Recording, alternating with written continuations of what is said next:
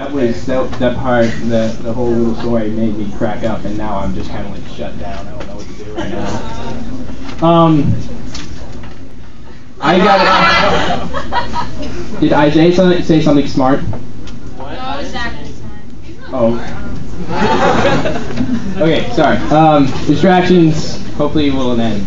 God, I'm nervous. Um, uh, the mood has been kind of like down and kind of you know sweet and stuff. All the acts that have been going on, so maybe I can change that mood. I hope not to affect anybody's moods too much, but um.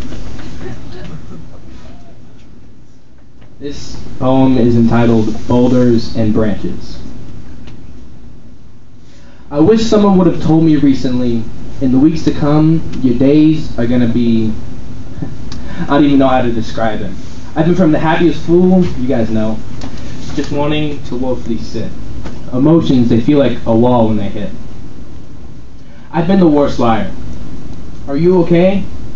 Anyone who asked me got this response. Yeah, I'm good. You cool? Pause. Yeah, I'm fine. I appreciate those who can see through my pathetic poker face. Each thoughts have been speeding through my head as if it were a race each on the grand chase of being the one my tongue designates as worthy of speaking. And for those who asked, I thank you. Here's one thought I want everyone to hear. Benson Orlando Robles is cocky. The statement I've thought after being the statement I've heard, the words I've read, they each have respectively crossed through my head. Those words, they tell me something. Check this. Those words, they hold judgment. I know what you're thinking. well, nah, duh. But those words, let me tell you something deep about them. Those words, they don't hold the true judgment of me. Those words, they hold the true character of you. Judgment only correctly embodies those who judge. I done wrestled with an alligator. That's right, I have wrestled with an alligator. I done tussled with a whale. I done handcuffed lightning, thrown thunder in jail. That's bad. Just last week, I done murdered a rock, injured a stone, hospitalized a brick. I'm so mean, I make medicine sick. That's bad. Bad. Last night, I just cut the light off in my bedroom. I hit the switch and was in the bed before the room was dark. Words of Muhammad Ali. And you know what comes to my mind whenever I hear that speech? The thoughts of others. Man, he definitely was one of the greatest, the best, Muhammad Ali was no doubt one of the greatest at boxing. But let me ask you, what if I were to boldly state, no one is as amazing as me? Many of you, and I don't know how many, but many of you would think, man, Benson is arrogant.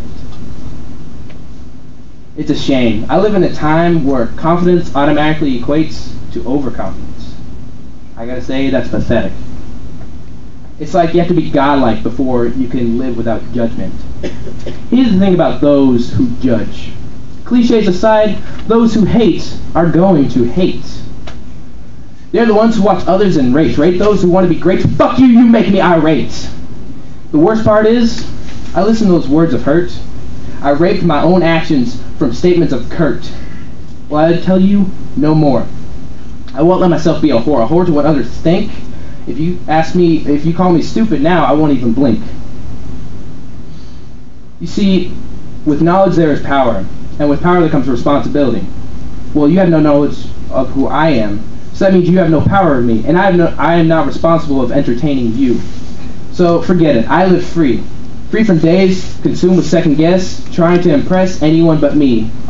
Here's to living free. Sticks and stones may break my bones, but only failure will ever hurt me. Failure to live up to my expectations, not yours. Thank you.